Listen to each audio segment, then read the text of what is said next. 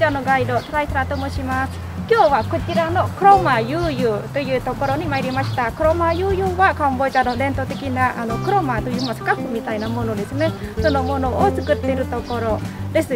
えー、工房の中の方になりますが、えー、これからですね、そちらをご紹介していきたいと思います。じゃあどうぞこちらからです。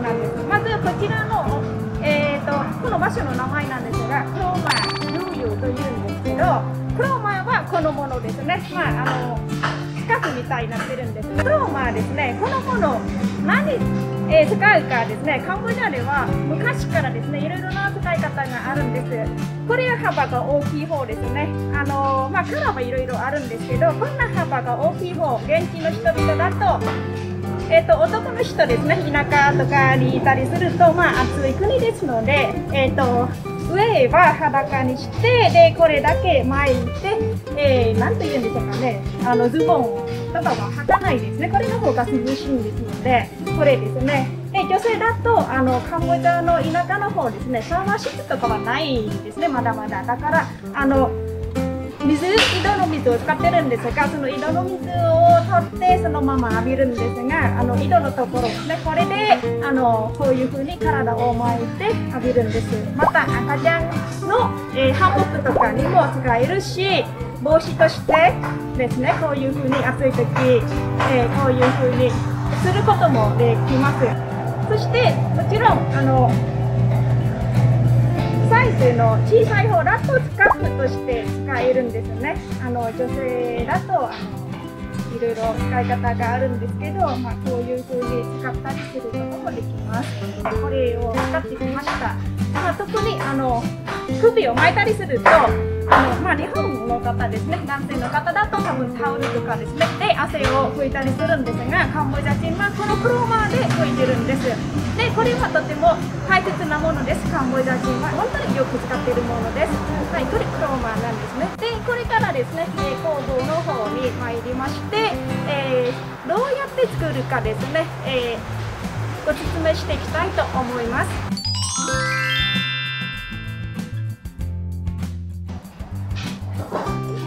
ちは。はい、こちらはこちらのクロマユというこちらの工房の代表の日本の方、竹木様ですね。はい、この後ちょっと、えー、質問してもよろしいでしょうか。はい。えー、とこちらのクロマユですね。えーのまあ、どうしてこちらにあのきっかけをちょっとあの話していただければと思います。はい。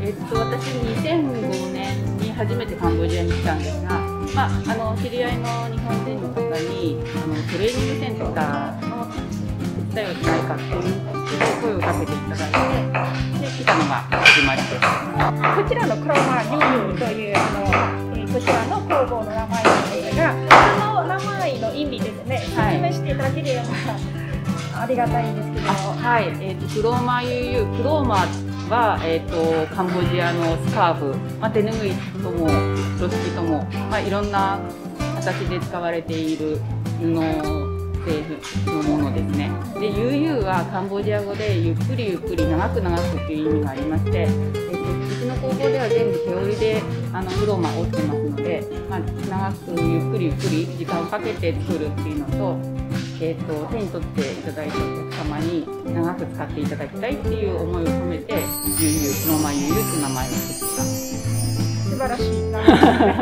ありがとうございます、はい、でこちらで働いてる方は何名いらっしゃるんでしょうか？今えっ、ー、と19人あのいるんですけども現在、えーと、他の仕事をしていたり、えーと、育休産休で休んでいたり家族に手伝いをしていたりということで現在働きに来ているのは10名になります。はいこの後ちょっと見学してもよろしいでしょうか？はい、どうぞ。はい、じゃあ今から。はい、ありがとうございます。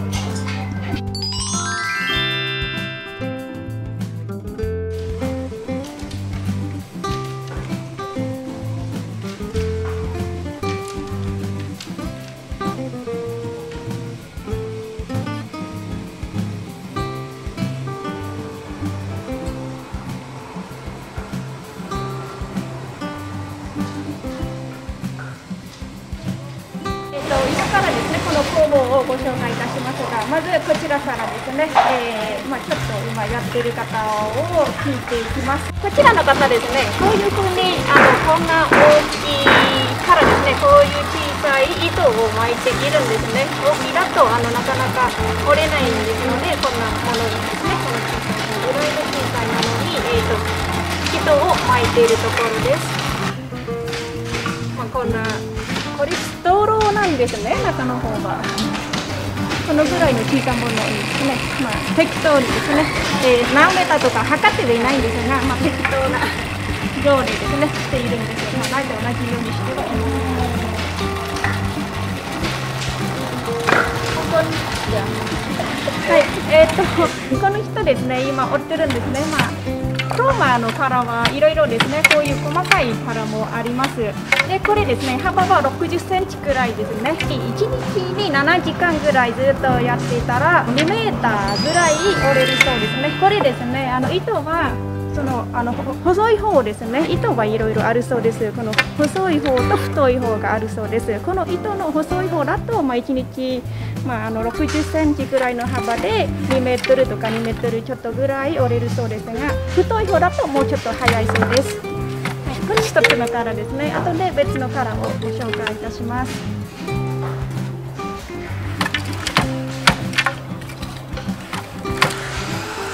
ちらの方ですね、あのこれから折るんですが、折る前にはこの糸ですね、えーを貼っているところです。で、貼ってから、これからですね、えー折っていきます。まあ、折る準備をしているところ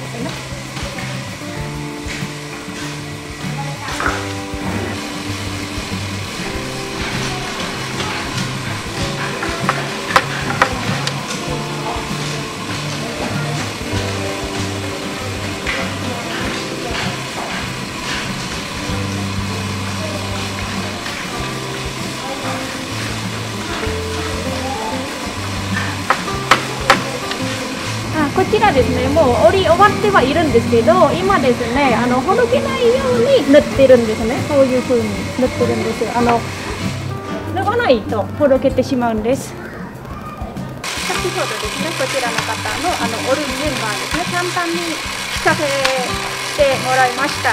あの横の、えー糸をですね、貼って置きます。で、その後ですね、こういう風に、えー横にですね、糸を入れていくんですで、あのーまあ、先ほどお話ししましたけど、えっ、と、糸の細い方だとちょっと時間かかりますが、あの、その、糸の太い方のが早い、折れるそうです。で、こちらは糸の、あの、太い方を折っているんです。まあ、色もすごく綺麗ですね。ピンク色です。まあ、ちょうど私好きな色になりますけど。